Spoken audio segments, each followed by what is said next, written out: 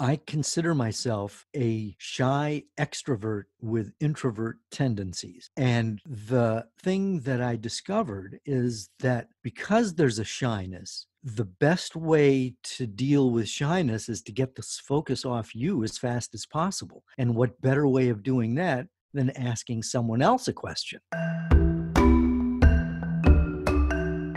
Hello, and welcome to the Creative Mindset Podcast. I'm your host, Isolde Trachtenberg. In the show, my guests and I explore how we can use creativity to do our best work and live our best lives. I talk with authors, musicians, actors, scientists, and others who are all pushing the envelope to live fully, creatively, and authentically. Listen in to get the scoop on how you can do it too.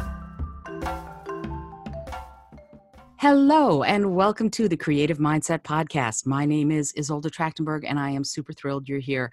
I'm also so excited about my guest this week.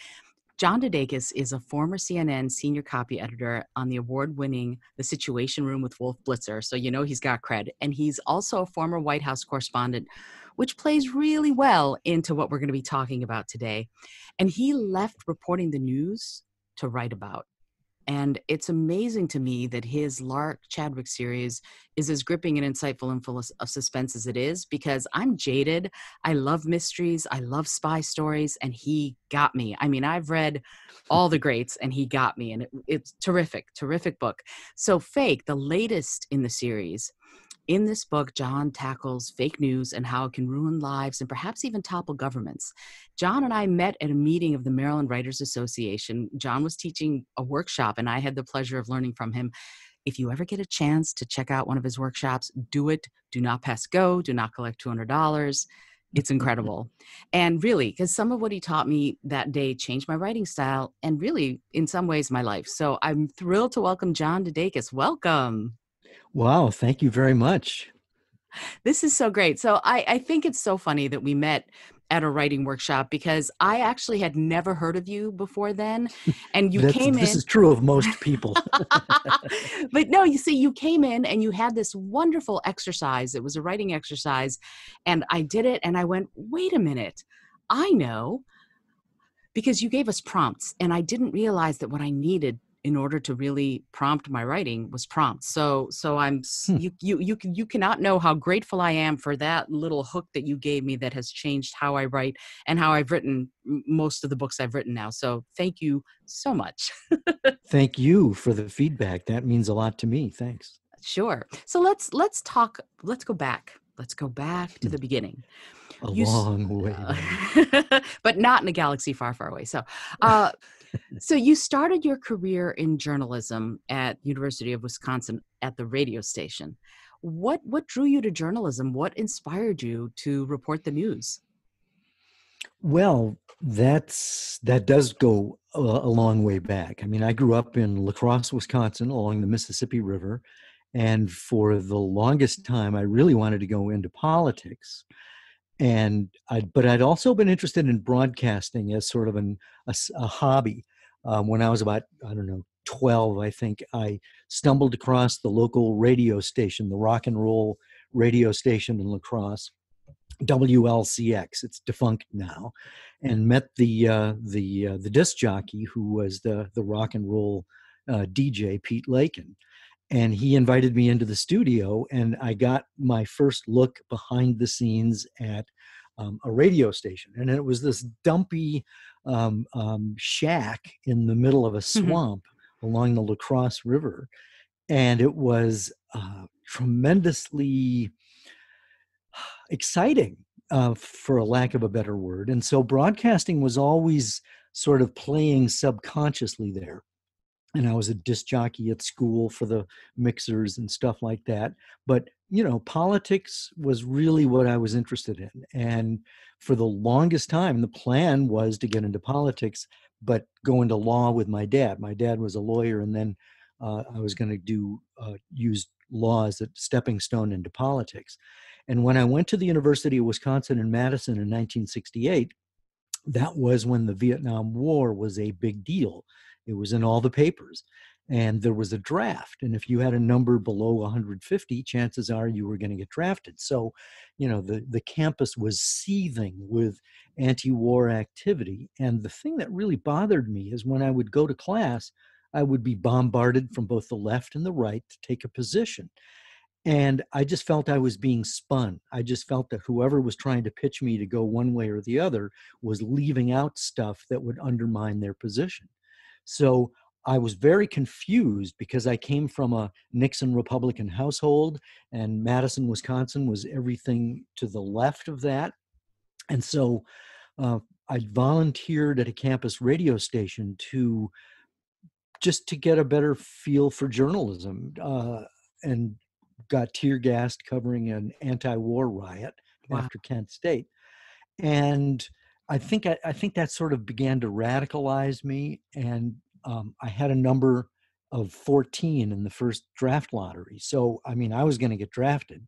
Mm-hmm. And I enlisted to avoid the draft only because uh, my dad, who was on the draft board, basically said, I'm not going to get you out of this, but talk to a recruiter and find out what your options are. And I discovered that they had military journalism. So I enlisted so I'd have more control over what I'd do when I was in the military. Uh, of course, I promptly got orders to Vietnam, which was a major crisis. But, you know, just as in real life, when there's a crisis, you know, in journalism, we call it a story. In real life, we call it a crisis. In fiction, it's a plot twist.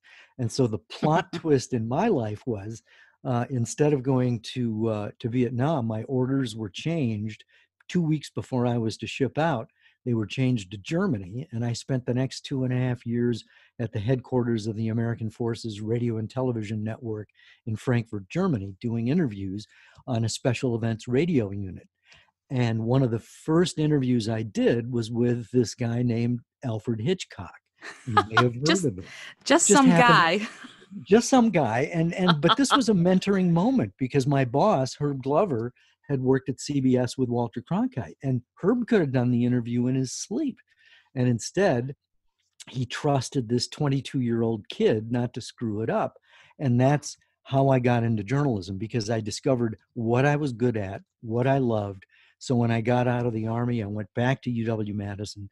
And instead of nearly flunking out, I got a degree in journalism, 3.5 average, not brilliant, but I grew up. And that really then was the career trajectory I stayed on for until I, I left CNN after 25 years in 2013, I think it was. I've been retired for a while.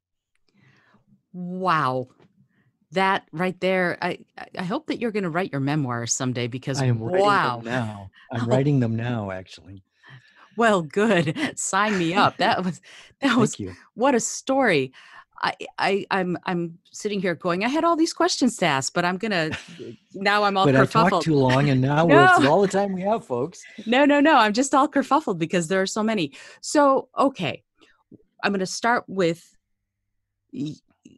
you spent time in Frankfurt. You you got to interview an amazing uh, filmmaker, Alfred Hitchcock. Mm-hmm something about that made you excited. What about talking to people? What about interviewing them and finding out who they are sparked your your creative sizzle, your curiosity?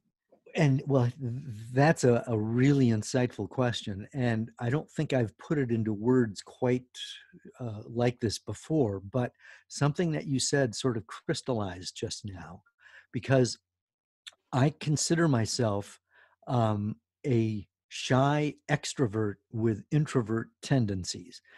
And the thing that I discovered is that because there's a shyness, the best way to deal with shyness is to get the focus off you as fast as possible. And what better way of doing that than asking someone else a question? And so that then became sort of an instinctive default mechanism and uh, it just so happened that I worked in a profession where I could do just that.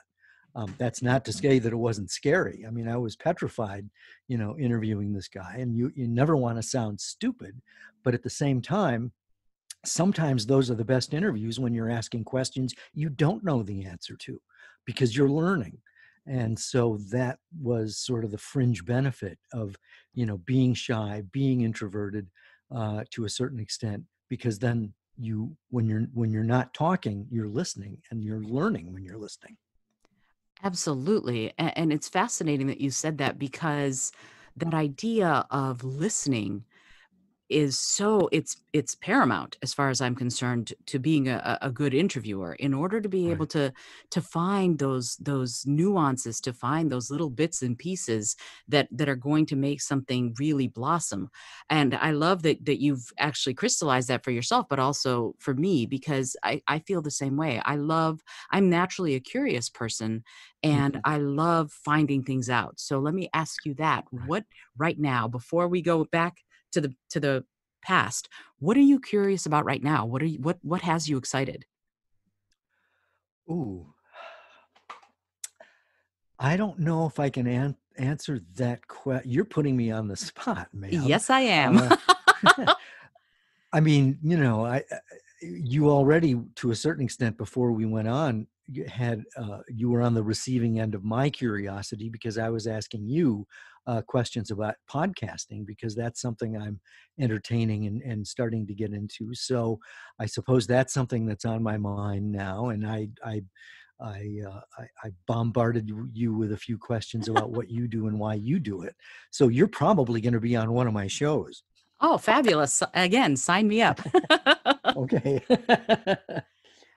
You know and it's funny because this is such a, a fascinating way to communicate. It reminds me of of some of the radio that went on in the 30s and 40s where this is the hmm kind of thing that happened. You did interviews like this because hmm that's what the technology would allow but now hmm i think we're getting back to this one-on-one conversation that allows us to hmm really explore some deep topics.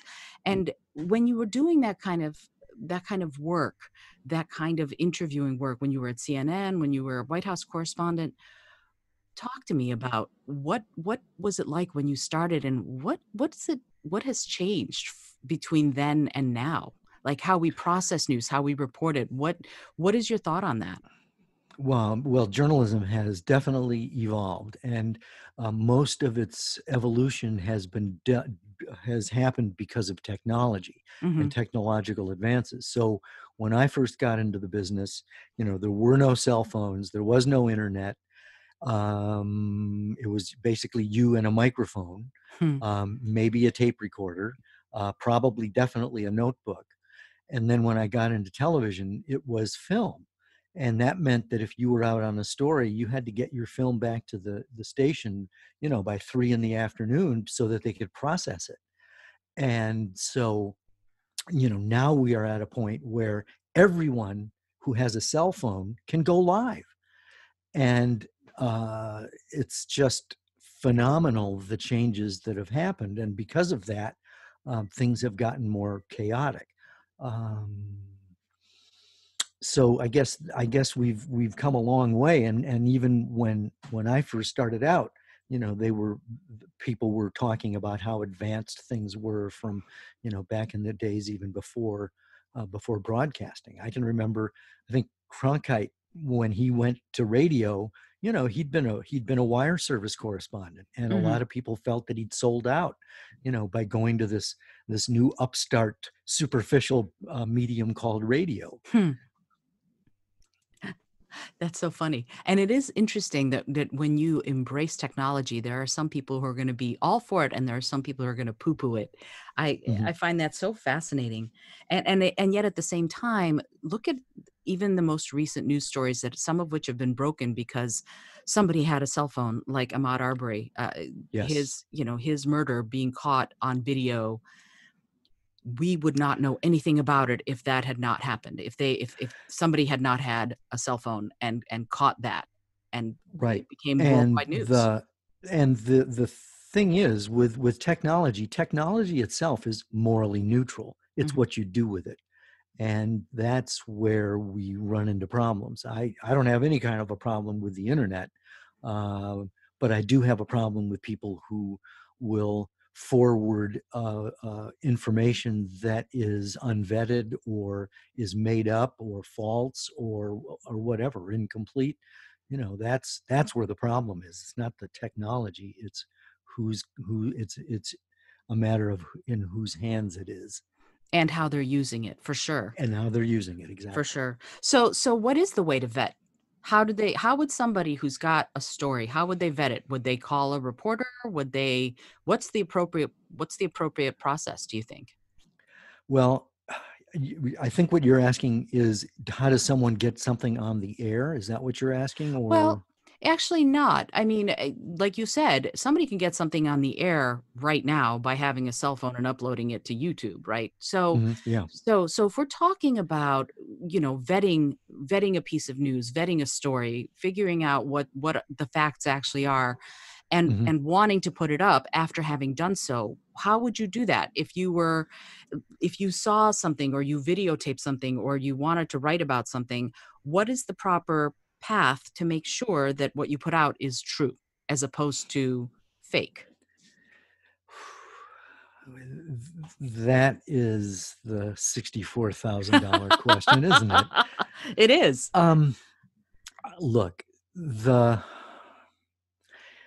I do a lot of talks, and some of the things I talk about is journalism and and the and the whole fake news phenomenon. Mhm. And one of the things that and, and some of the time just about even before trump was elected i was getting questions about you know media bias in fact Mhm. you know my i can let's go back to watergate because my parents were nixon republicans Mhm. and when i decided to go into journalism as far as they were concerned i just joined the dark side Wow. because they felt that nixon was run out of the white house by journalists Hmm. which he was but they were just reporting on what he did Right. and had there not been those White House tapes, um, he probably would have, uh, you know, finished his second term without a problem because um, they didn't have enough evidence. It was all circumstantial. Right. But you have him actually on tape uh, talking about the cover up, and he's lied about it. Then you've got you've got some elements for um,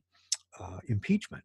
So. Um, when I went into journalism, my mom said to me, she said, if I hear in your reporting bias, even if it's something I agree with, you've failed. Just give me the facts and let me make up my own mind. And so that's really the axiom that I tried to follow in my journalism career. Mhm. So now, fast forward, now we're in a situation where the President of the United States uh, is accusing journalists of being the enemy of the American people Right. when the Constitution sets up freedom of the press, which is supposed to hold government accountable and also make it possible for people's opinions to be expressed. Mhm. So when you have, you know, the highest elected official in the country undermining the uh, the institution of journalism, not to mention the intelligence community and the police whatever whatever he doesn't like he does his best to undermine Right. and there are plenty of people now who don't trust fauci they don't trust journalism uh, they only trust you know the guy with the loudest voice and so we're now in a position where it's much more difficult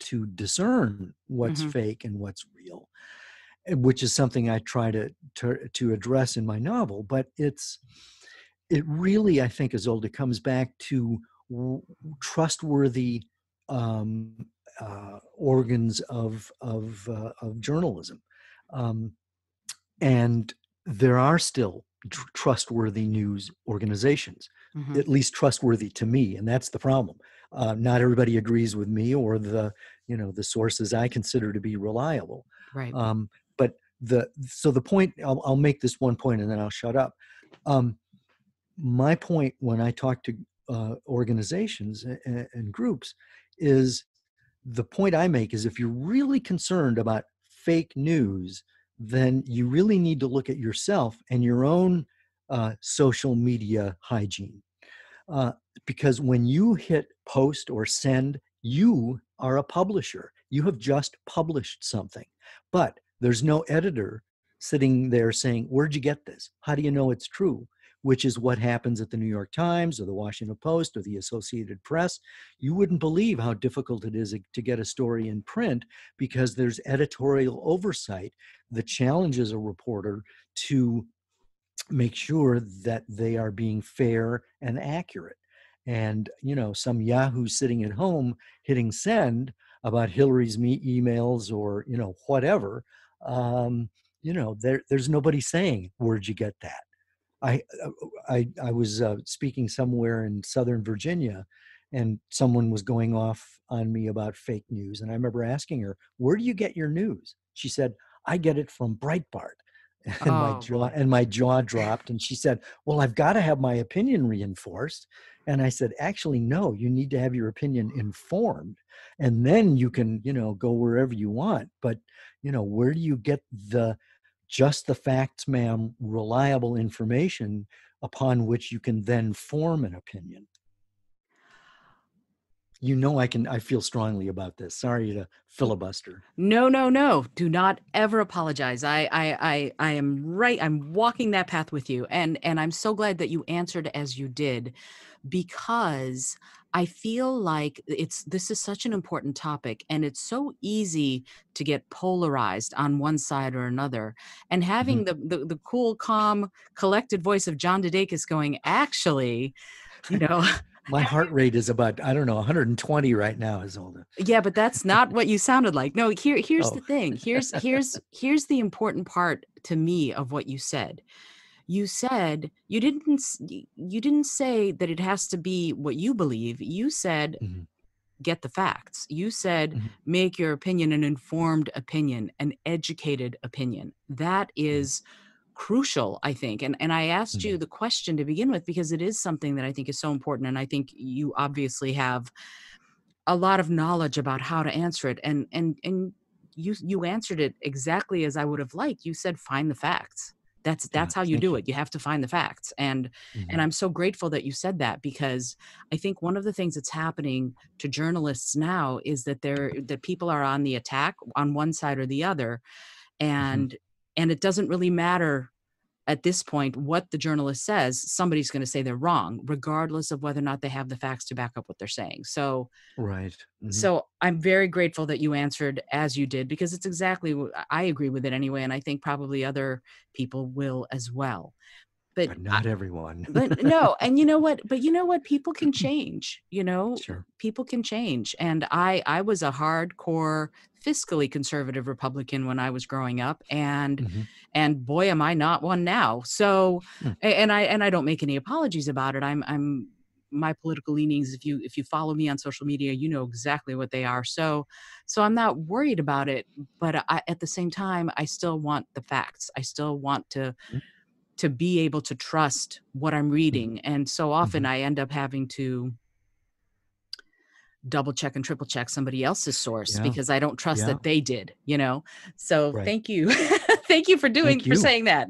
Oh no, absolutely. so, so let me, let me, I, I, we could talk about this till the cows come home. It's true. And I don't like using animal metaphors. So sorry cows um but but eh, let's let's switch gears if you don't mind you made the switch between journalism and into fiction mm-hmm. how how did you do that how did that transition go and what made you decide it was time well, I was working at CNN as a writer. This would have been in probably 88 or 89. And I'd been a White House correspondent, but um, I wasn't able to make that transition to being a correspondent at CNN. And so writing, you know, is a noble profession and uh, it paid pretty well. So I was doing that.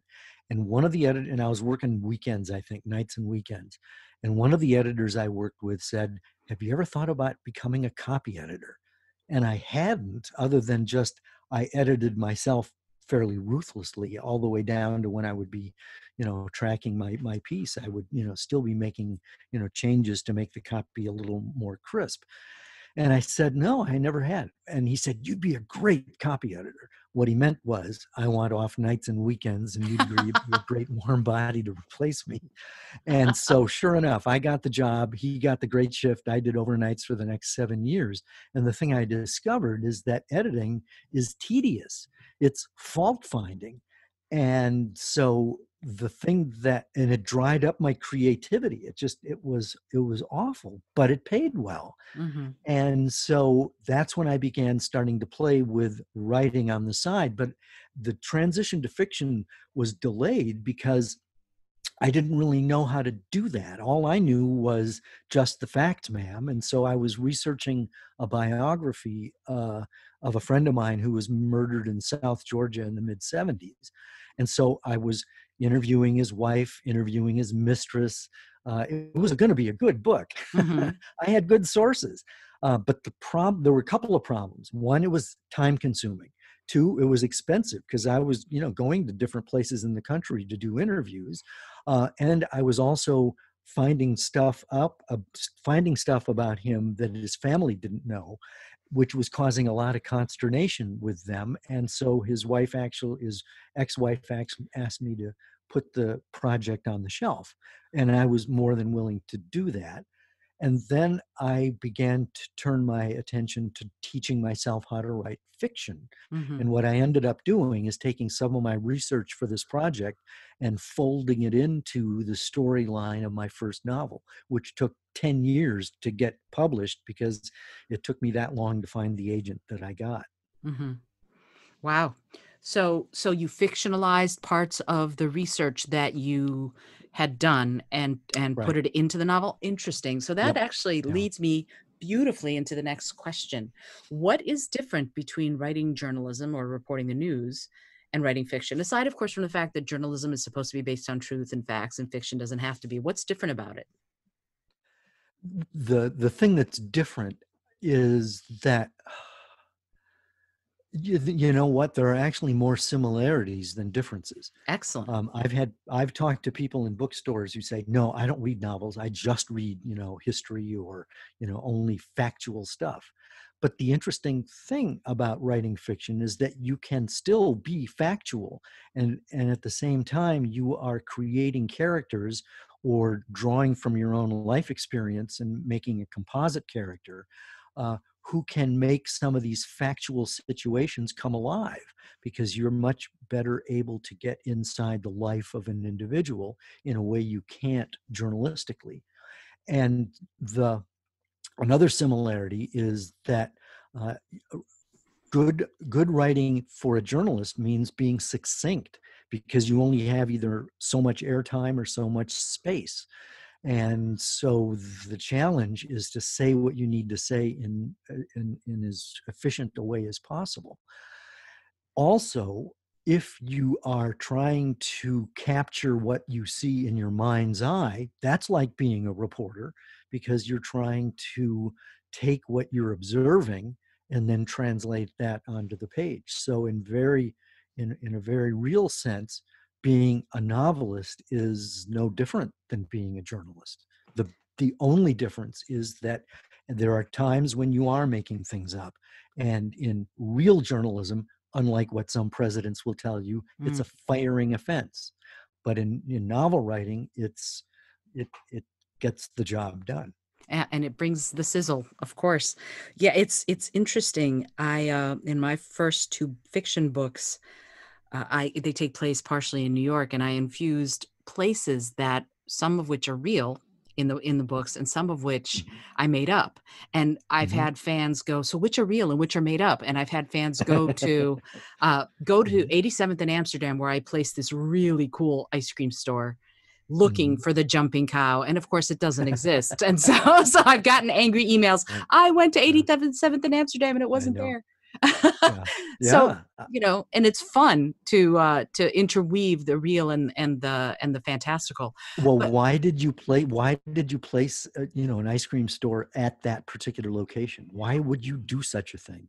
Well for me personally it's it's right in the building where my grandmother lived. When she when we Mhm. immigrated we got placed in detroit my fam my sort of nuclear family and i. My grandmother got placed on the upper west side and she lived at 87th in amsterdam. So when i was looking for a place to to put my fictional ice cream store that's where i chose you So- write what you know You Exactly. you know Absolutely. Yeah. And I think I think that and we're going to get into that more too. But I want to ask you uh cuz I do want to I want to talk to you about how you've related being a White House correspondent to now Lark in your in your mystery series being a white house correspondent but before we get there i want to ask you because i'm a mystery dork i love mysteries what drew you to write this kind of it's almost like a hybrid between a mystery and a, and a suspense thriller. What what makes them an exciting topic for you? What what made you decide this is what you were going to write about well, I stumbled onto it because one of the things I teach in my writing classes is to, uh, uh, one of the classes I teach is how to write a novel. And I basically look at the process from 30,000 feet up so that you can see all of the moving parts. And one of the moving parts is to know what your genre is. And the and that's important when it comes time to finding an agent and finding a reader and all that kind of stuff and the thing that I discovered, and of course, a lot of my teaching comes out of the mistakes I made and the things I learned when I taught myself. Um, for the longest time, I mean, my first novel, Fast Track, went through 14 major revisions. Hmm. And the agent I have is like the 39th agent I queried. And probably about the 12th draft, um, I was living in Atlanta and there was a book club that met in our neighborhood and they agreed to read the manuscript over the summer and then let me sit in on their critique. And i write as a woman which is another question you may want to go to it's uh, the next so, question in fact. So you know there are 25 women who are taking my novel apart while i'm sitting there listening which was very instructive very intimidating. And the thing i noticed is that i had three subplots that i didn't need and by extracting them from the manuscript, it went from a 150,000 word mishmash to a 75,000 word mystery suspense novel. So I didn't know my genre until I got that kind of really helpful feedback from the Princeton Lakes uh, book club. Uh, uh, and that's when that's when I discovered what my genre was uh, way down the pike. So I stumbled into it. That wasn't the kind of stuff I read. Interesting. So fascinating. And it is interesting how it takes sometimes somebody else to go, well, wait a minute, what did you mean here? Or wait, why is mm-hmm. this even mm-hmm. here? For you to right. go, hmm, maybe it doesn't need to be. I love, I have uh, a number of beta readers for my work, and I'm so mm-hmm. grateful that they're willing to read my my drafts and and tell me oh, what I'm doing wrong and what I'm doing potentially right. It's so wonderful. They're they golden. really they really are. They absolutely are. So so yeah it's funny that you talked about lark being a woman and you writing a woman. It's you chose to do this to write as a young a, a beautiful attractive flawed intelligent yeah. you know firecracker of a of a woman. How how did you arrive at her as your main character? What made you decide to write her and also her the way you wrote her well, thank you for saying what you're saying about Lark. I, I feel very close to her. Um, the the the way it came about, I stumbled into it when I very when at the very beginning when I was thinking of of starting to write fiction, someone suggested that I should write in a way that stretches who I am. Never been a woman, at least not in this life, so I gave it a try, and I discovered that it was accessible to me and the reason that it was accessible is that I discovered that emotions aren't gender specific. We hmm. all have the exact same emotions fear, anger, joy, you know, whatever. It's just that in my experience, it's the women who are much more willing to express their emotions. They're much more um, articulate about their emotions, and the women in my life are more emotionally nuanced. They have a, a palette of emotions to draw from when they do express themselves. And so, uh, and then it also helped to have women uh, as my beta readers because I was at CNN for 25 years. So that's 25 years worth of young women in their early to mid 20s, interns, new hires, who would tell me their stories about their boyfriends, their careers, their families. And I would, because I'm a shy person, I'm listening to their stories and internalizing them. Mm-hmm. And, uh, and so, in many ways, Lark is informed by that. But I'll say one more quick thing because that's the superficial reason. Mm-hmm. There's actually a much more in depth reason. Um, and I didn't find that out until many years later uh, one of the things I teach about in my writing classes is being able to plumb your subconscious mm-hmm. when you write. and not try to write to be fancy, but to try to write to to find out what's really going on in your own life. And so, um, and so Lark is in many ways informed by my subconscious. But here's the interesting thing: um, my son went missing uh, about 11 years ago.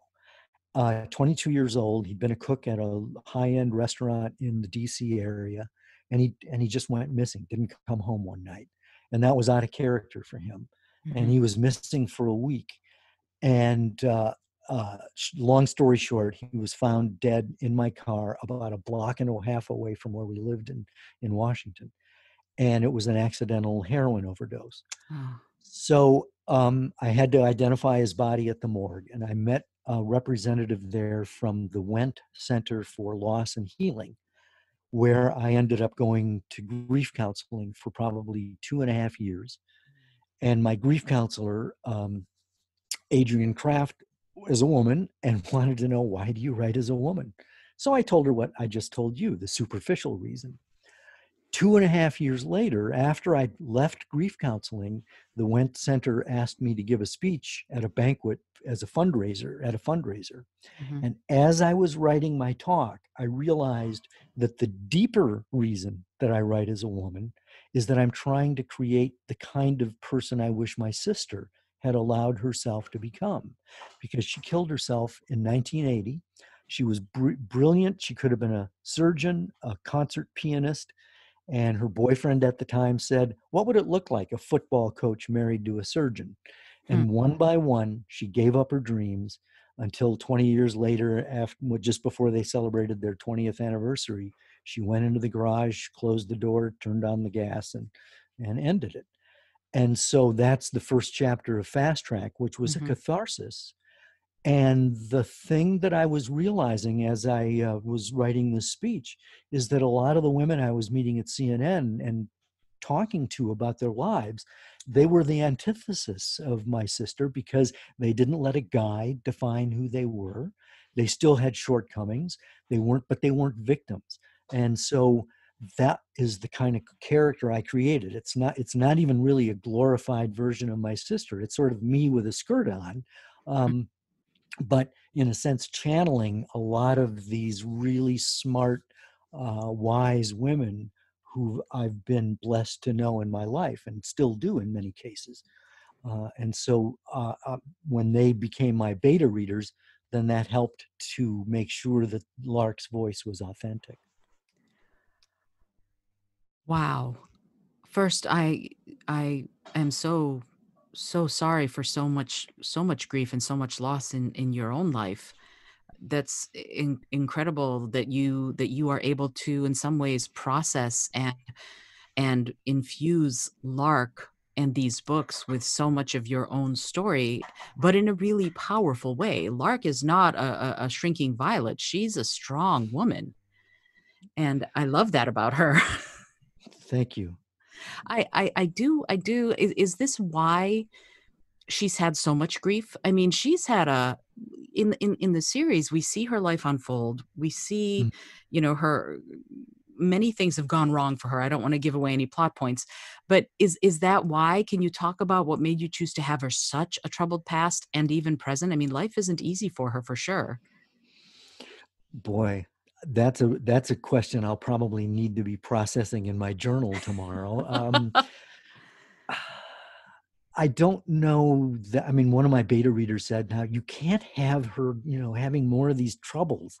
But you know, as a writer, you have to throw you you throw the kitchen sink at your character, and um, I don't think I really started out to give Lark such a challenging life um, you do i mean i do try to draw from my own experience but and there certainly has been grief and loss but i mean we all have grief and loss so i mean i don't think i'm unique in that sense. Um i and and and i think it's safe to say lark has certainly experienced a lot more grief and loss than i have and many people have but we're already coming up on the sixth book so uh, it's it's an accumulation of of of stuff that she's got to fight uh, that you know mo- most people would would buckle under i think. But uh, I don't I don't know, Isolde, if I can give you a really articulate answer on that, other than I'm drawing from personal experience, and then trying to make sense of it and trying to uh, create a character who's who really is strong and uh, in her weak strong in spite of her weaknesses.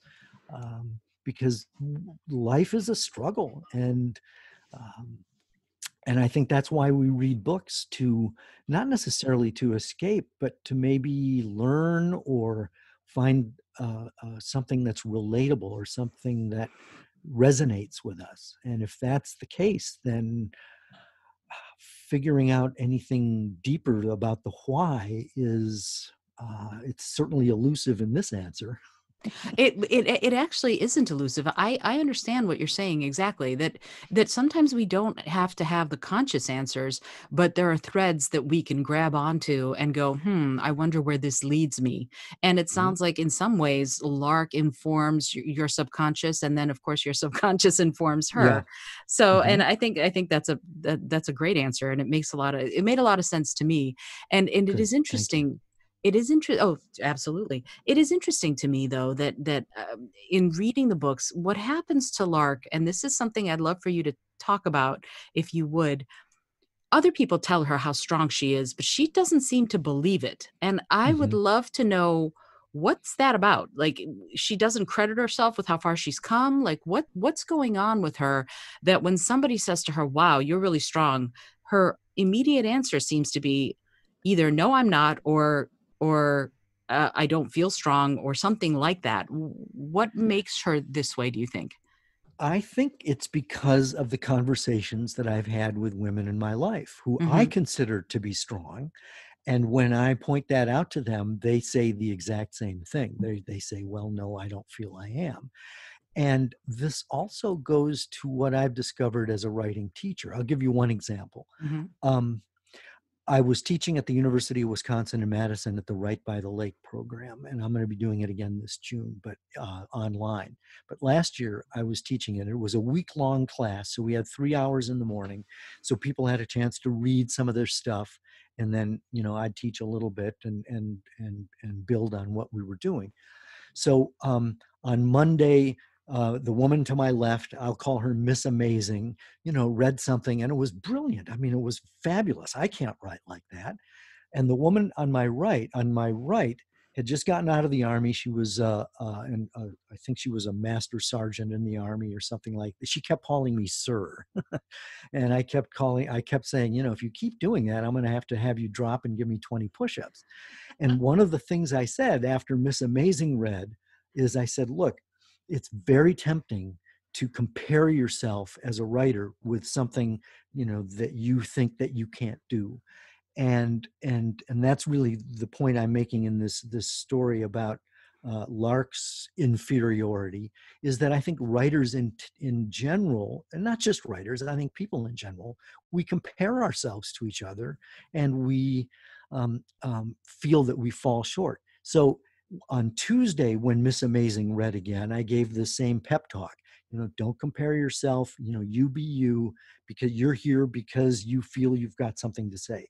The sergeant said, I'm going to read on Thursday. Okay, that's a moral victory. I'll I'll be fine with that.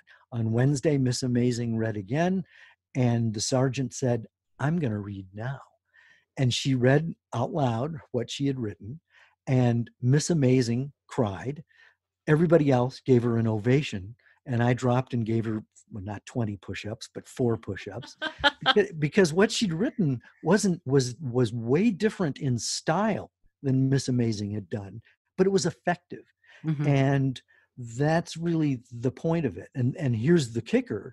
She told me afterwards she said i've been coming to this conference for four years in a row and i've never read out loud before. So wow the point I'm making is that we, I think, as human beings, have a tendency to compare ourselves to other people and feel that we're falling short. And and all too often we give up before we've even had a chance to find out what we're made of.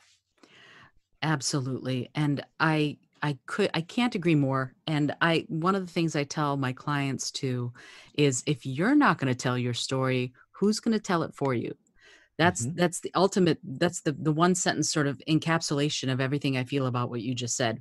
We all have a story to tell, and no one's gonna tell your story unless you're the one who stands up and tells it or writes it Or, or if they do tell it, they'll get it wrong. Uh, yeah, uh, and that brings us back to that whole fact checking thing. uh, our conversation is a spiral. I love it. So, so let's talk a little bit further, if you don't mind, about the books as a series. They're all standalone, although I, I recommend people read them all because you do get more information. You do get more about Lark. You do get more about the stories and the people in her life if you read the whole the whole series but how do you, how do you work that process how do you lay out the timeline and the plots is everything in your head already or do you sort of let inspiration strike you as you begin each new chapter in lark's life Ah, well, I didn't even start out to write a series, to be honest. I think I Mhm. just wanted to write and get something, get a book published. And so I stumbled into the series because by the time I finished the first novel, I had some ideas for subsequent ones. Mhm, And this is actually not a bad idea because often a, an agent will say, Well, what else are you working on? And uh, because it's a business and they don't want to just represent a one hit wonder, they're interested in longevity. Um, the other thing is that I, I don't just crank them out. I've got some friends who are under contract to turn out a book every nine months. To mhm, me, that would be like writing with a gun at your head. And so that then gives me the luxury of having things percolate. mhm. And so um, I, in fact, I was on my walk today because I I'm I'm in procrastination mode on book six. Uh, I've I've I've been playing with it, but I haven't really gotten to the point where I'm writing the first draft because I don't have the the bigger story that I need to attach it to. Mhm. And so I came up with a couple of ideas that might work that might be related to the coronavirus. I'm not sure if I'm even going to use that in the story or not, but it's almost impossible to uh, ignore right now. Sure. So uh, I, I really am only, I only have enough light for the next couple of steps. Mhm. And, uh, and so I don't crank them out. I think about them and do, I've got plenty of other things I'm doing in my life. So um, that gives me time to, you know, have ideas take root, gel, and come together. And for your fans to sit with bated breath. Thanks very much, John. Yeah, right. I definitely, I definitely led left. Uh, I ended fake with uh, with some loose ends that definitely need to be, uh, if not tied up, at least uh, um, uh, woven into the next story. Right. Well, addressed. We'll call it addressed. They need to be addressed. uh so so yeah that's the next question actually that i wanted to ask you is i don't want to give up too many details of the book because you know people people people should read it It- your writing is is so clear and so crisp and lovely that i i just if you're listening to this read the book that's all i have to say. Uh what can you tell me about fake what without giving too much away what give me give me give me the thing that'll make people sit up and take notice. Well, um, by the time Fake starts, Lark has a uh, um, a professional relationship with the first lady, and so the first uh, there the, we we we know. Well, I don't want to give too much of it away either. So uh, I'll just say that she's interviewing the first lady in the residential uh, quarters of the White House when the first lady dies, and that then, of course, launches the story and um, um, we meet we have met the first lady and the and the president to be in troubled water which is the third novel i wrote fake is the fifth so those characters start in troubled water and have evolved and fake i started writing right after trump was elected Hmm. and i was i was aghast at the whole uh, fake news allegations that he was making and the uh, uh, the attacks on journalists. I mean, I've had friends who've covered him, and they've had to have police escorts to their to their car because of the uh, the anger that he uh, gins up against the reporters amazing and uh, uh, and so I'm I'm really troubled by that. But I did not set out to write an anti-Trump Trump screed um, because truth is not on one side or the other, and so the story I wanted to tell and which I really try to tell in all my novels, is to give people a glimpse behind the scenes as to how journalism really operates. Mhm. And, you know, to a certain extent, it's like watching the sausage made because it ain't pretty. And, uh, you know, if you are uh, a person who does believe that the news media has got problems, well, you'll find them in there. And that's true. I mean, I can't tell you how many arguments I've either witnessed or been involved in in newsrooms when we argue about what's the news and how we're going to cover it. So, um, so that's what I try to do. And so in fake, um, I, br- I bring in the Me Too movement uh, because Lark is certainly on the receiving end of a lot of unwanted attention from guys, and she has to manage that. Um, she is attracted to the president, but she is grieving her own loss, as is the president.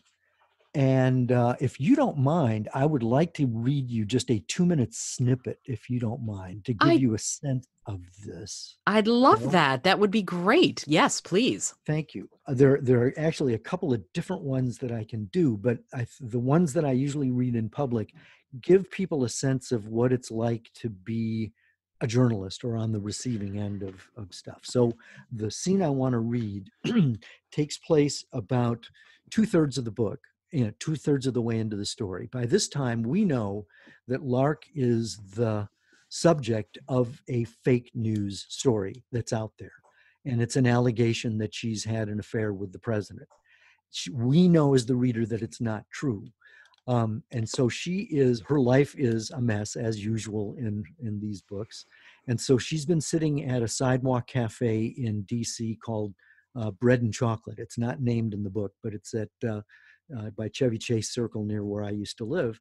And so she's been journaling just like a fiend, which is the way I sort things out. And that's the way Lark is doing it too when she uh, gets done, she's packing up, she realizes that there's a guy who's been watching her.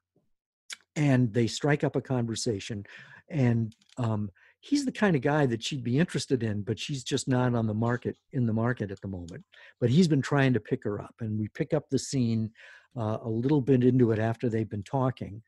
Uh, and he said to, he says to her, I just figured it out, he said, his face brightening. What's that? You're what's her name, the president's girlfriend. Now I was intrigued. What gives you that impression? Well, it's all over the internet. He dug into his pocket, extracted his cell phone, and did some serious scrolling. Here it is. He thrust his phone toward me so I could see the shot, the picture of Gannon, the president, with his hand on my shoulder. You're Lark Chadwick, Miss Fake News herself, he said proudly. So glad to have made your day, I stood. Me too. Say, is he any good in bed? I think we're through here, Jake. Hell, we're just getting started. His expression darkened and hardened. Why do you liberal media types hate this country so much? You don't even know me, Jake. Oh, I know your type. While I'm getting shot at in Afghanistan, you're banging the president, as his wife is dying, no less. I should have walked away. Instead, I took a deep breath, pulled my chair over to his wrought iron table, sat down, folded my arms on top of the table, and leaned toward him. A minute ago, you're trying to pick me up, I said, trying to impress me with how rich you are, trying to flatter me about how hot I look. And then when you realize I'm a journalist, you judge me based on information that's not even true. But do you even. c- He grabbed me by the forearm and squeezed so hard it hurt. Ow! He stuck his face in front of mine, lowered his voice, gritted his teeth, and hissed, Listen to me, you stuck up snowflake little bitch. In Afghanistan, I killed better people than you. Let go of me, I demanded, my stern, even tone matching his. We were eyeball to eyeball. He tightened his grip. You need to be taught a lesson. His voice, his eyes were wild, crazed. I'll stop there. Ooh. Yeah, I remember that scene. Ah, it taught. I will call it taught. She, yeah, that's that's lovely. Thank you for doing that. Is there anything else you'd like to read out of the book? I would, if you don't mind. I Um, don't mind at all. We have no time limit here, so as much as you want to read, I would be delighted to hear it. I have two choices. I'll let you be the judge. Mhm. There's one, it's the scene in National Cathedral just before the First Lady's funeral. Mm-hmm. And often I give, I read this to give an example of the fact that reporters are biased. They are human beings. The trick is that they need to be able to take the bias out of their, you know, their, their need, they need to extract that or set it aside when they actually write their stories. So Lark is in, in National Cathedral ruminating about God. The mm-hmm. other is a conversation that Lark has with herself on Air Force One. She's been the president uh, has given her his personal phone number. Now there's an op- now there's a bombshell story that some whack job media uh, uh, blog has just launched, and she needs to confirm it. You know, she doesn't know if it's true or not, and so she's debating her with herself on whether or not to text the president. Ooh, I remember both scenes. I love both scenes. I, uh, you know, if you're willing to read both, I'd love it. If not, I, I, you know, the the conversation between between the two Larks was uh, informative and also hilarious. So that's the one I'd love for you to read, if you don't mind. Sure. Okay.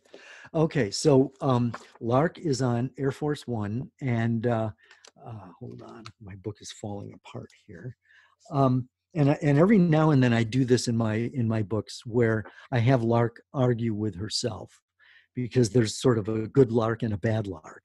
And in this case, I, I label them responsible lark and selfish lark. um, so Lark is, is deciding whether or not to text the president. Responsible Lark, don't text him. Selfish Lark, why not?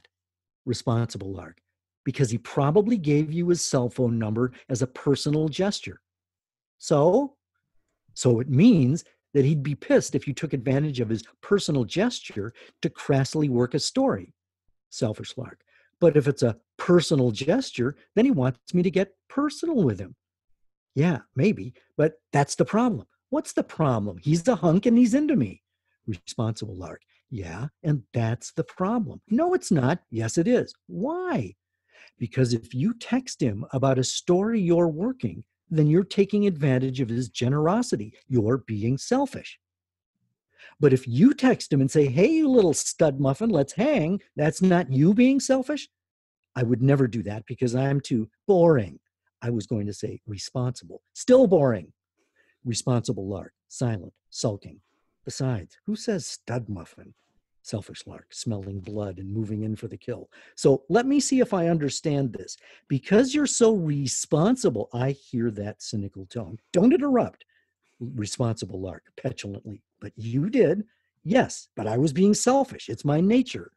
Responsible lark, sighing. Go on. Selfish lark.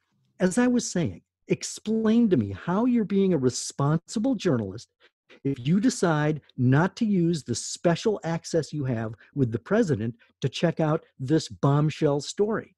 Responsible Lark. Um, right, just as I thought.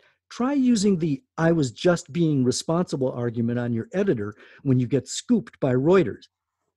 My thumbs were trum- trembling as I typed this text to the pres- to President Gannon. It's Lark. I need to talk with you alone. It's urgent. I take a deep breath to keep from hyperventilating, and then I hit send. Selfish Lark, smugly.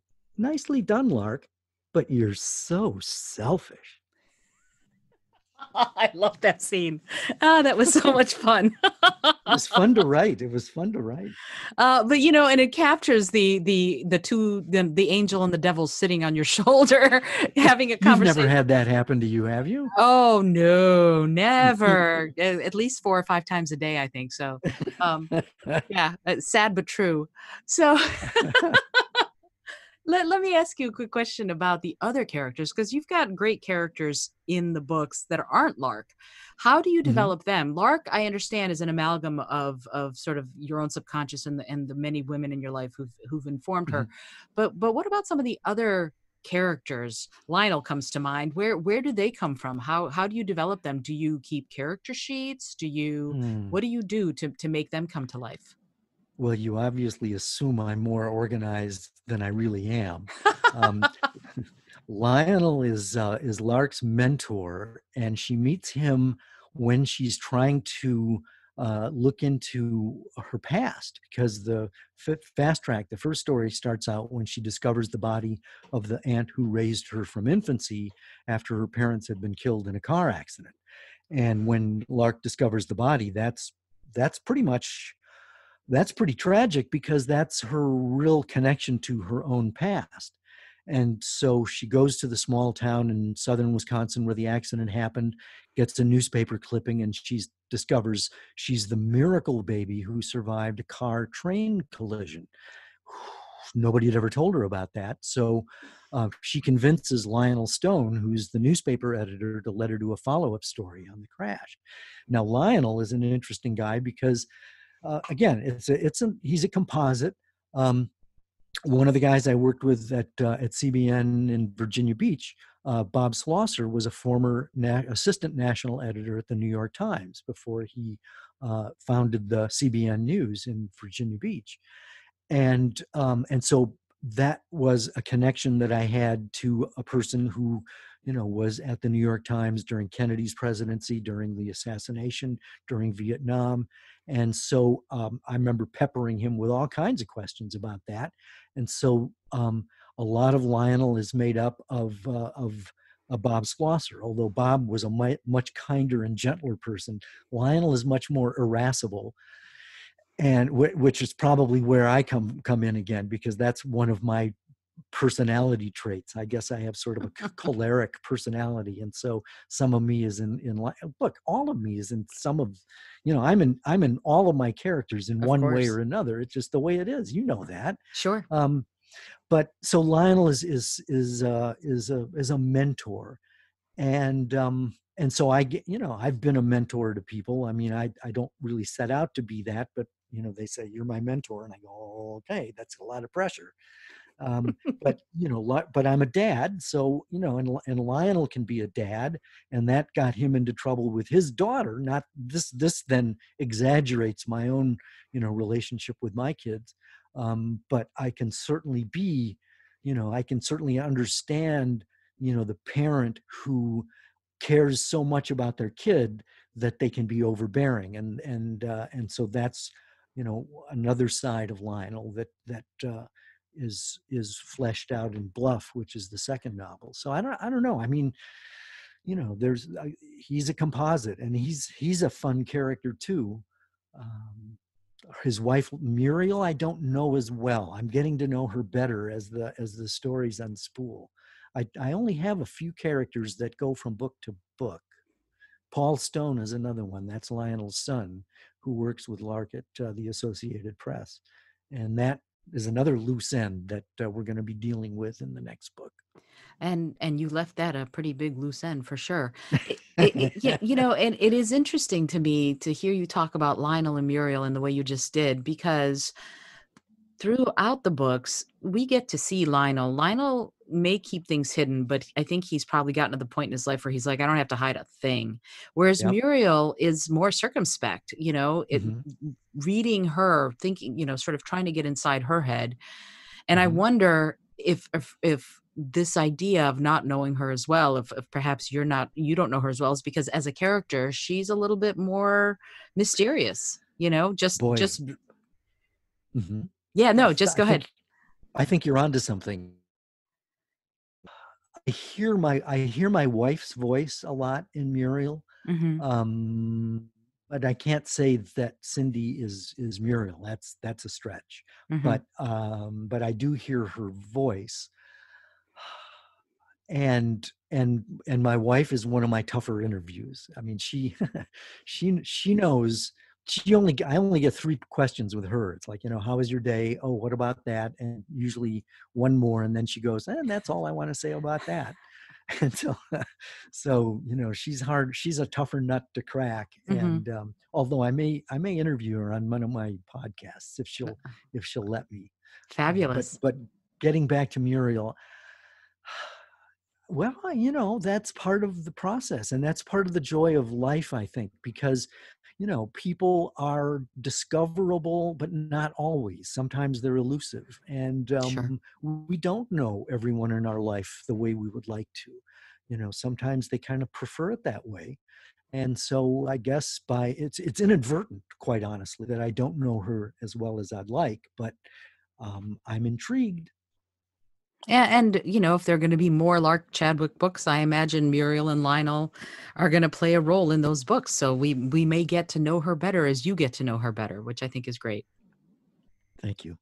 So so let's let's shift gears a little bit if you don't mind. You've been you've been giving us these tantalizing bits and pieces of the fact that you are a teacher and that you do writing workshops and things like that. And I I can attest you're a fantastic teacher. I, I said that up front. Thank you. So so oh my pleasure. And and because of that, I feel like I can, you know, sing your praises from the rooftops. But I I want to ask you uh what what is it that you're trying to teach and how do you go about teaching people when they're you know you have a, a workshop called novice to novelist which i think is phenomenal name uh, but it means you know you, hey you're a rank beginner you you might be afraid to put words down on a page and from there we're going to get you to writing a novel or, or far on the way.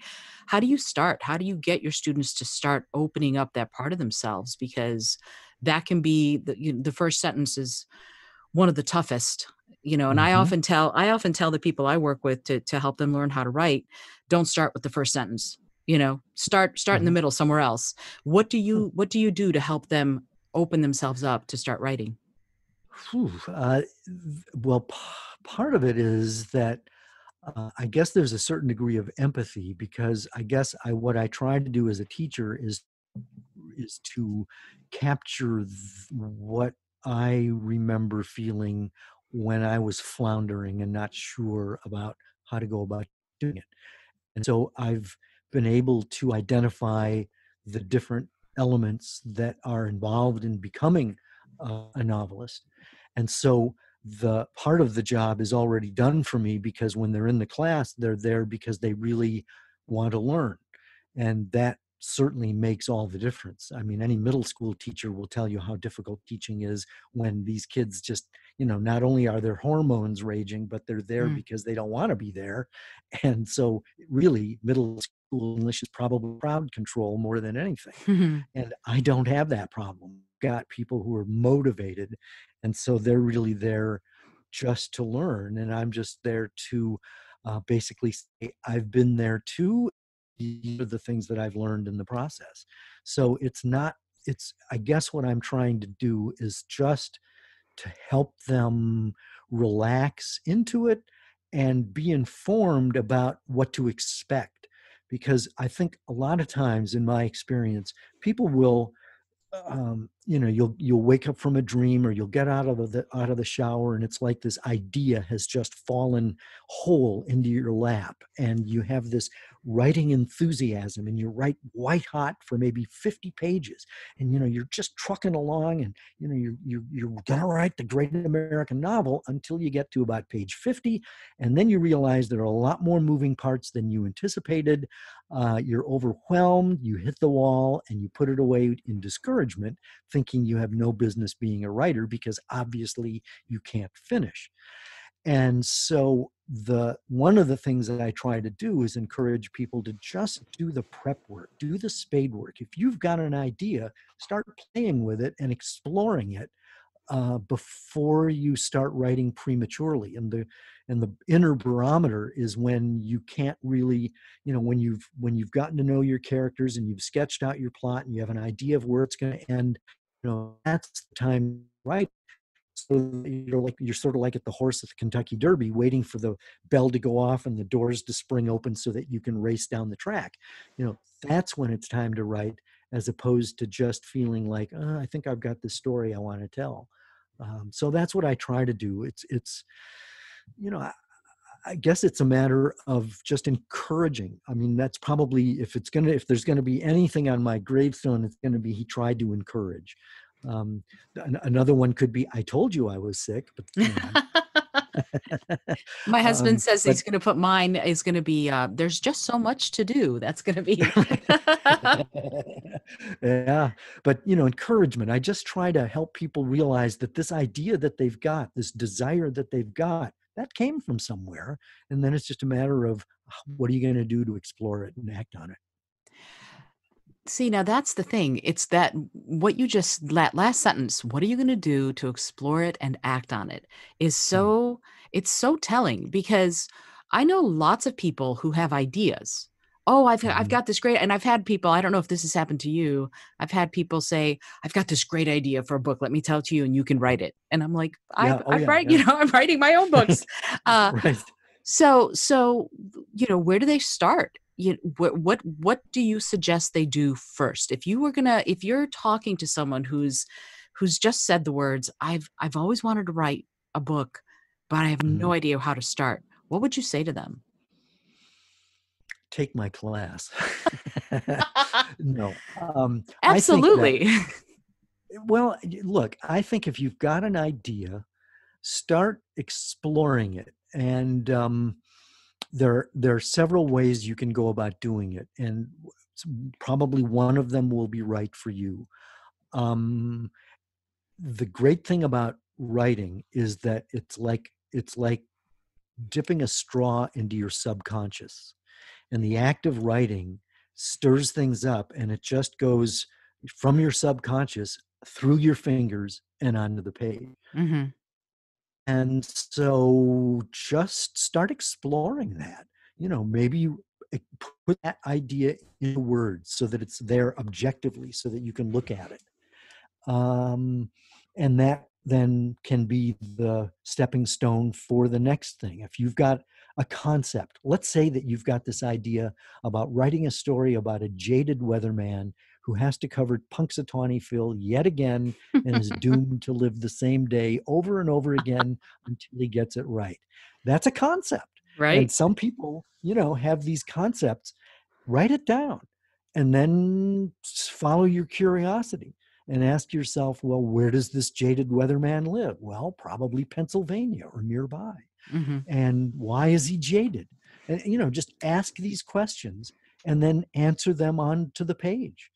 And really and i think you can uh, you would attest to this as well because you write it's just a matter of discovery. Writing is a way of discovering the story and it's also a matter of self-discovery um, because i think that there's a direct connection between effective writing and effective self-knowledge you know the better you know yourself the more you're going to be able to draw articulately from your stuff and uh, and put it down so following your curiosity about the story that you've got uh, and building those characters step by step, bit by bit, is I think a good place to start.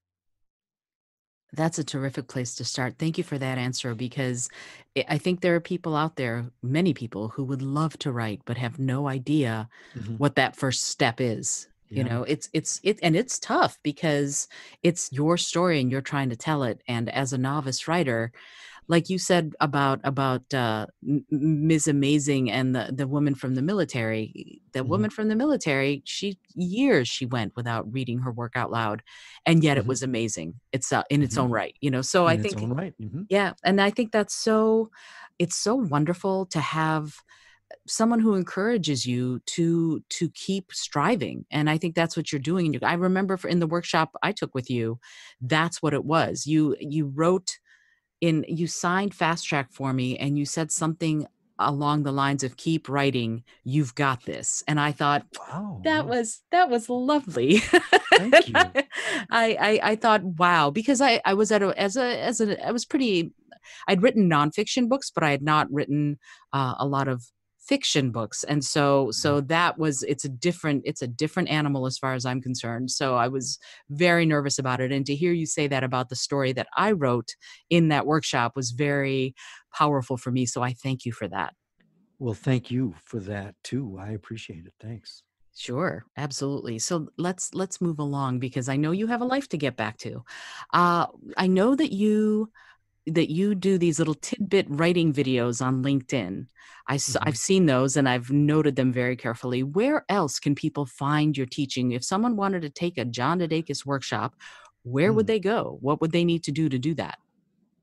Probably the the best thing. I mean, I haven't updated my website in a while, so my ever ever since the coronavirus hit, a lot of my things have been either canceled or moved online. hmm So, but my website is one place uh, johndedakis.com. But as far as specific writing classes, I've been doing a lot of them on uh, uh, uh scheduling them through uh, uh, Eventbrite.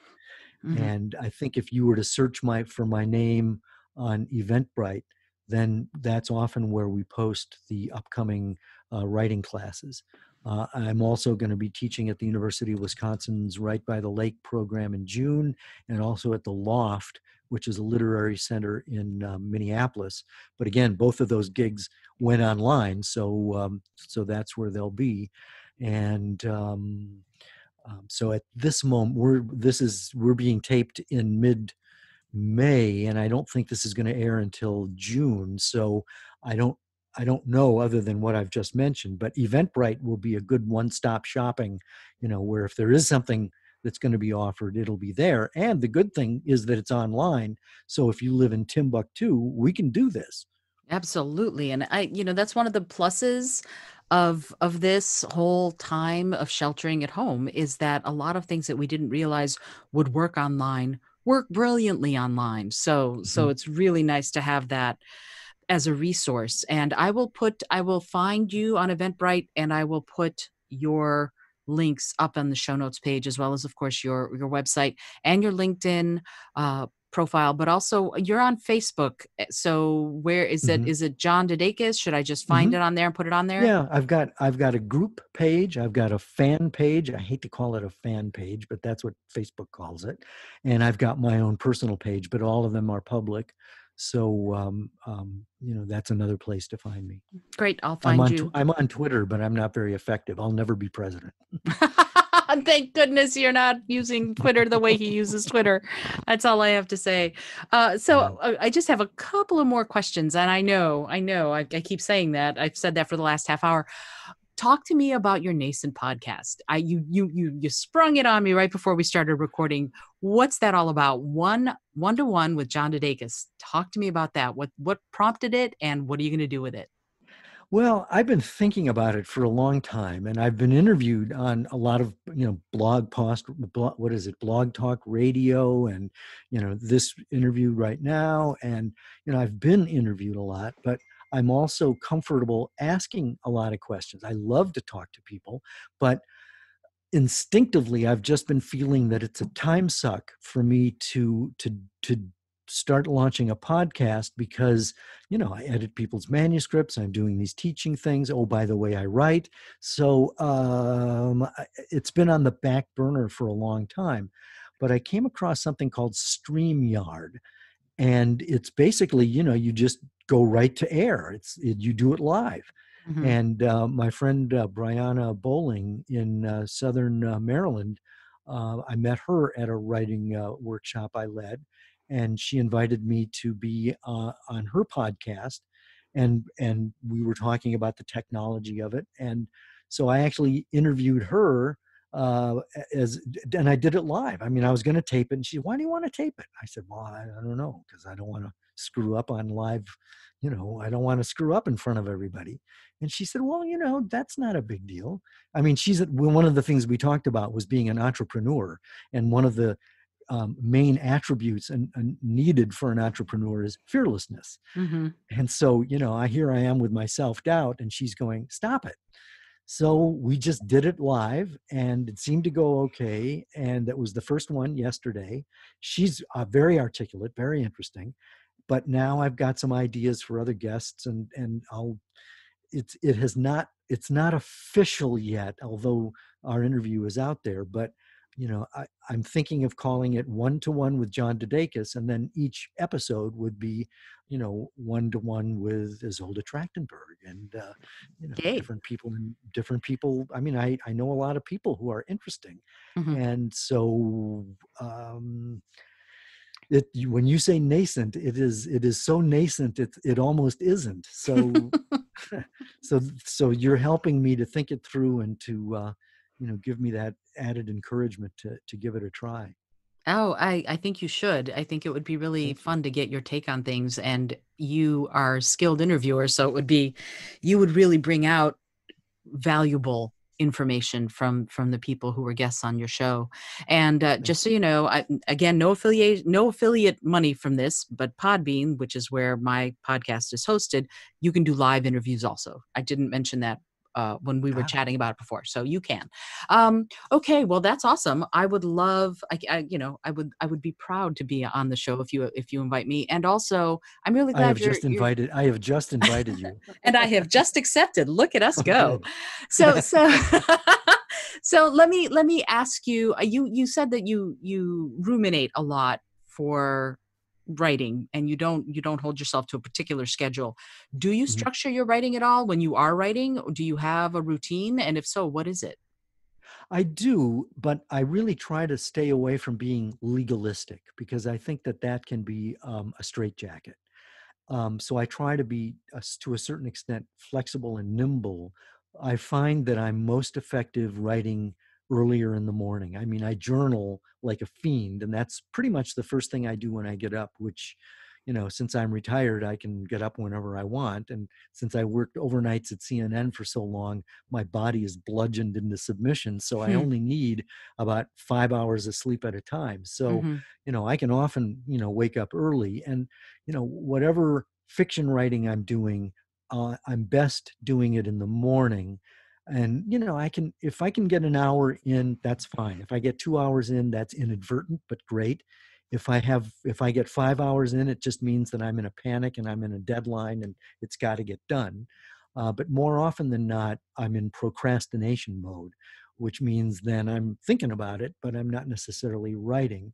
And i think that's also important for a, a, a wannabe writer to keep in mind because if you're ruminating, you're writing. That's part of the process. And you might be an automaton who can write a thousand words a day. But how do you feel about yourself when you only do 800 or 200 or zero? And so I'm just realistic about who I am and how I approach it.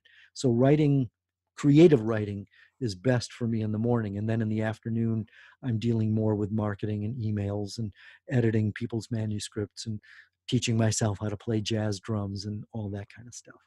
Wait, wait, wait, wait. Time out. did you just say jazz drums? Yeah, I did. Ooh, okay. Tell me more, please. Well, look, um, this goes back to being shy, all right? When I was in high school, no, actually, when I was in junior high, you may have heard this group called the Beatles. Um, oh, I've um, heard of them. Yeah. Mm-hmm. You've, you've heard of them. I heard they broke up. I've, I've heard they've broken up. Um, but back then they were all the rage, and um, and so I taught myself how to play drums by listening to Beatle records mm-hmm. and Ringo Starr. But my my sister, who was eight years older than than I, played uh, first chair clarinet in the band, and so I inherited her clarinet, but I did not her- inherit her skill. Uh, so consequently, in spite of the fact that I wanted to play drums, I was stuck playing clarinet, and I was too shy to let my desires be known. I probably could have learned how to play the drums and done a pretty good job at it back in the 60s when it really would have made a difference. So, fast forward to about 1996, right? Um, my my my wife said, "What should we get Dad for Father's Day?" And my son James, uh, who is now a, a, professional drummer in Los Angeles, said, "Let's get him a set of drums." Which of course is how James taught himself how to play drums. So um, I basically, you know, played the tapes and stuff in the basement and just, it was, you know, I didn't play in public. I was too shy. And then fast forward again, living in DC, um, James and I were at a, uh, a jazz club in DC and there was an open mic jam session. And uh, I said, well, James, are you going to play? He says, no. And I said, Well, okay. I should have listened. So instead, I go swaggering up there and sit in. And, you know, the first piece was a pretty basic 4 4 swing, medium swing. I did fine. And then a couple of horn players got up, and I found out later they just played a gig at the Kennedy Center.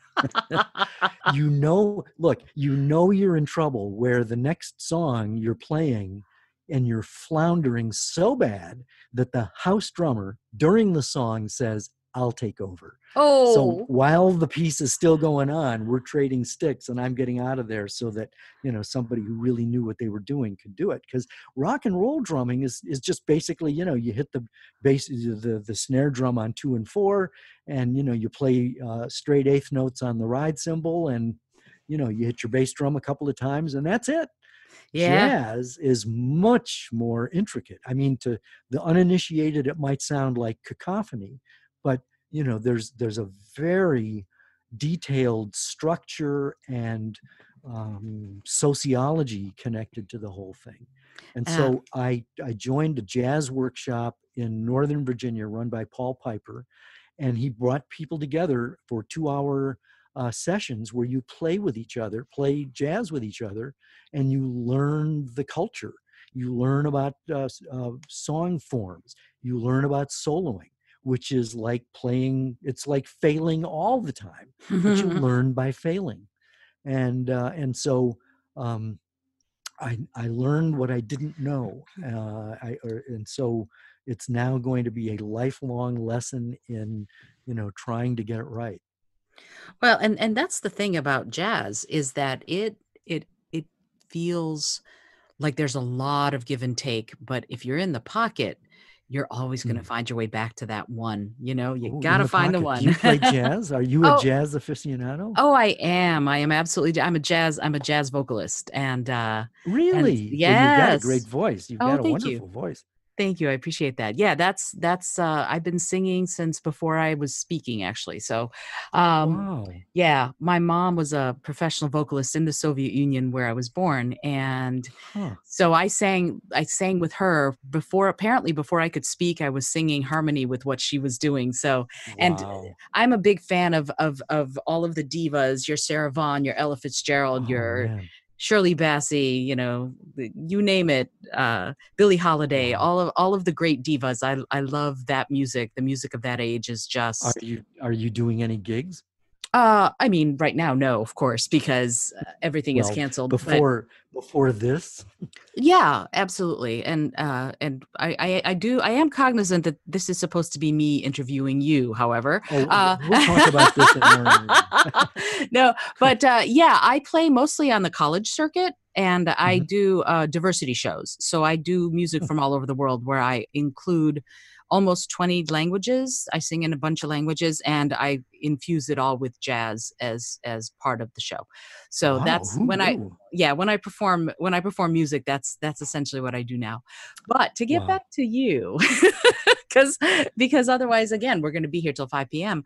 Um I, I I wanted to ask you if if if you wouldn't mind sharing a couple of things. First of all, do you want to tease anything about the next book that you're gonna put out? Maybe. Well, the, the look, I have when I when I um, after I finished uh, Fake, I had three projects uh, that were all basically at the developmental level. There was uh, there was book six of of the Lark Chadwick series that I was starting to play with. Um, there was a literary novel that I, I wanted to write, but that's that's an entirely different genre, and it's very character driven, and language is uh, is critical in it. And so I I just know I'm in over my depth, you know, considering that. But I'm you know I'm I'm playing with that, and then there was a memoir, and um, and I and so what I was doing in my writing time was is was spending time with each of those uh, sort of rotating through. And the one that took root and the one that I'm working on now is a memoir. Mm, And it's and memoir is different than autobiog- autobiography. Auto, mhm. it's it's autobiographical, but you know the autobiography is you know everything about your life, and you know I'm a nobody, so that's not going to sell. Um, I I'm not an would. ex-president, so um, you need to uh, if you if you're a nobody who's going to write a memoir, you need to come up with something thematic. And mhm. so the theme I'm working with, the working title is pivot points. Sometimes life doesn't turn out the way you expect. And so what I've been able to do is identify maybe I don't know 15 or 20 pivotal moments in my life that have brought me to the where I am today. And so that's and and I've I've written about 70,000 words and I'm only in 1988. So Wow. yeah, it's a first draft, so it's going to need to be whittled. But um, I'm having fun with that, and um, it's a little daunting too. But uh, I'm far enough along that I think I'll be able to uh, whittle it into some sort of coherent whole. And I'm looking forward to it. That's going to be fantastic. I love the title. It's wonderful. Thank you. Thank you. So I know couple more questions. Sorry. You did. You- Actually, well, you're. I appreciate this. Thank you. I'm not sorry at all. Let me be honest. Uh, I Hmm. wanted to find out from you who who do you read? Who are you reading right now? Who are your favorite authors? Man, I wish I read more widely. I'm I am such I feel like I'm a, a remedial reader and I know that whoever I mention, you know, someone will say, "Well, you know, oh, really?" But um when I first started getting interested in fiction, it was John Steinbeck. I read Grapes of Wrath in Mm, a high school, not high school, a college um, American history class about the Dust Bowl. And so Grapes of Wrath made history come alive. Um, I like John Grisham. I like Stephen King. Um, I've been reading uh, William Kent Krueger, uh, who's a novelist in uh, in Minnesota, and I Mhm. was judge uh, a couple of years ago for the Edgar Awards, and um, I was getting like I don't know ten books a day in the mail, and uh, and you know we had we had different teams who you know we all got all of the books that were entered, but we only had to read you know certain ones mhm. you know once we discovered the ones that were the the top ones then we read all of those. So whenever a book and my wife reads voraciously. So whenever a book would come in i'd go here you go. And uh, and you know i would read as well. And you know after about the first 50 pages you can kind of tell if if it's going to go anywhere because you already have a gold standard. And if it's not measuring up you know you can't wait till page 200 because you gotta you gotta hook me. And I think that's true most readers. So Cindy read Kent's um, uh, Ordinary Grace, and she said, "This is the one." And as it turned out, that was the one because everybody on our team uh, came to the same conclusion. Um, so Kent Krueger is uh, is a really good writer. I like Greg Iles. Um, uh, he writes uh, mystery suspense and very detail oriented.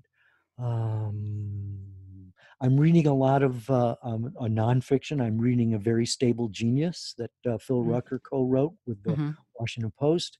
I'm reading The Loudest Voice in the Room, Gabriel Sherman's book about Roger Ailes, which I find very insightful. You get a much better holistic look at who Ailes was, especially you know growing up, and that helped helps me understand why he became the kind of person he became. I'm reading uh, uh, uh, the book. Uh, it's called The Library Book about the major fire that destroyed the Los Angeles Library in 1986, Mm.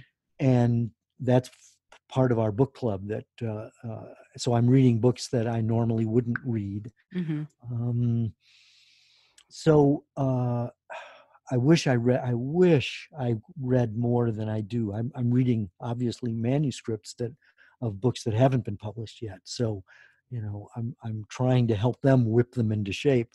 Um, I'd say don't that's that plenty. question? Yeah, it's yeah, funny. yes.